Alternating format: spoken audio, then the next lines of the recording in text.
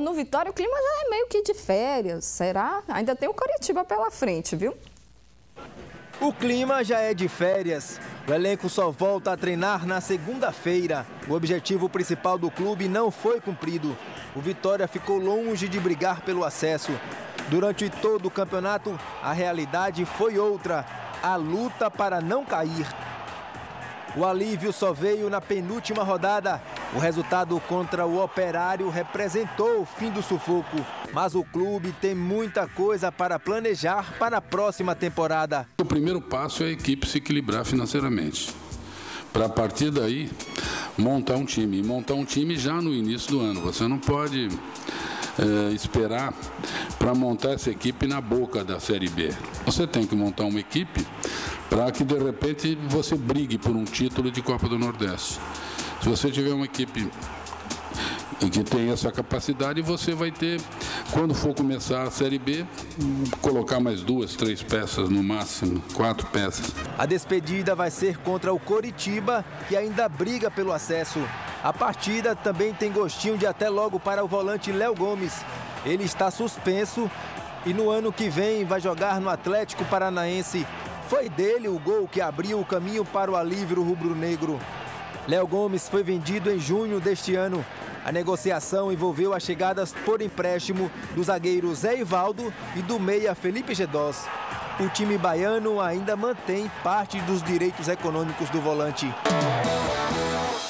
Vamos lá, o que, que a gente pode esperar do Vitória para esse encerramento aí na Série B, enfrentando o Coritiba, que ainda vai estar tá na disputa pelo título. Pelo título, não, desculpe, pelo acesso. É, a gente vai ter um probleminha aí, daqui a pouco fala sobre isso.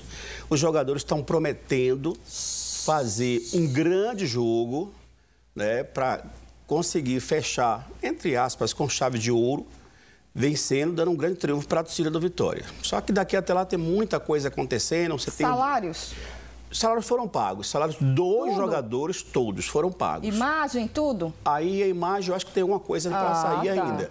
Mas salário, CLT, isso já foi pago. Mas imagem, eu creio que tem alguma coisa. Mas, Mas você sabe que o que pesa mesmo é a imagem, né? É. A imagem é sempre pesa. É, é, o grosso. É. Mas, enfim, eles estão tentando resolver isso, não só o salário de jogadores, como também de funcionários, está atrasado.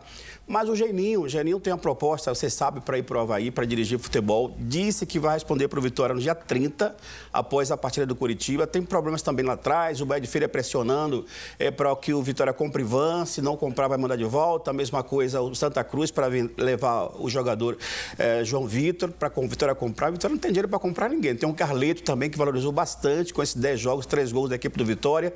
Enfim, perdeu 12 volantes, o Léo Gomes indo embora para Atlético do Paraná e o jogador Lucas Cândido, que não fica mais no Vitória. Enfim, tem uma série de problemas. Para esse jogo de, de, de, de, dia 30, no sábado, o Vitória vai ter, inclusive, festa no Barradão, porque tem eventos sociais, enfim, manifestações do mês de novembro que está encerrando, mas vai ter também um grande problema fora do campo.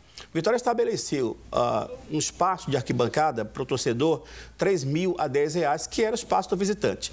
Só que, para esse jogo contra o Curitiba, vem muita gente de Curitiba para cá. A torcida do Coxa, Coxa Branca vai estar no estádio. E a Polícia Militar não está querendo liberar aquela área para o torcedor popular do Vitória. Aí gera um impasse, vai ser discutido durante a semana. Eu soube até que o Vitória já está tentando uma alternativa para não perder também, esse torcedor que quando o Vitória estava em baixa, estava ruim, era ele que foi lá eu comprar 10 reais Sabe e tal. Sabe o que, gente, que não entra na minha cabeça?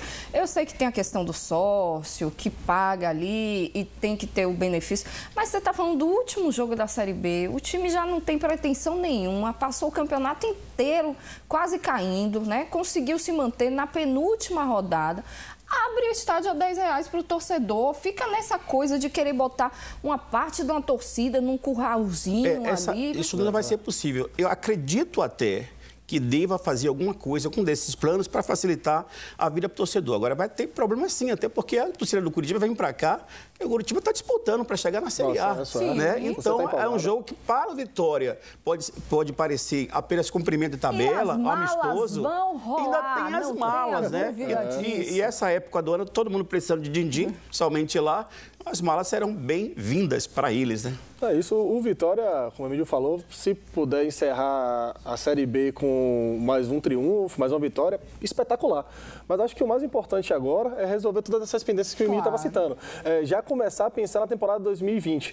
Né? É, o Vitória tem que decidir logo essa questão do Geninho, fica, não fica. Né? Se não for ficar, já tem que ter um plano B, um plano C, para começar o ano já com esse nome certo, com esse, esse profissional contratado. Precisa ver questão de elenco, precisa resolver muita pendência. Basta lembrar que o Vitória na, no Campeonato Baiano desse ano foi um fiasco, na Copa do Brasil e por aí vai. Então, e, tá precisa refazer muita coisa. Todos os defeitos e problemas e deficiências, esses jogadores honraram né, o seu compromisso, que foi estar em campo, que foi mesmo aí com tecnicamente não sendo aquilo que a gente esperava, né? Jogaram com vontade, com raça e livraram vitória do rebaixamento.